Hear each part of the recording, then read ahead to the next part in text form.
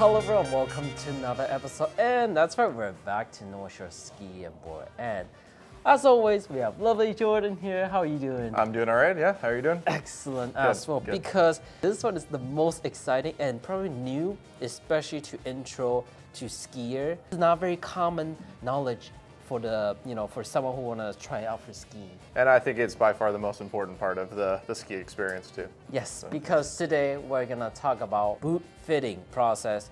So my first question would be why boot fitting is important? Like what's the point of that? Isn't that you just buy a boots, oh if it fits, great. Boot fitting is very important. Are made in lots of different shapes and sizes uh, to fit different people's feet. You need to find a boot that is fits you the best. Is it true that you wanna be too snugged or tight or too loose like a sneaker?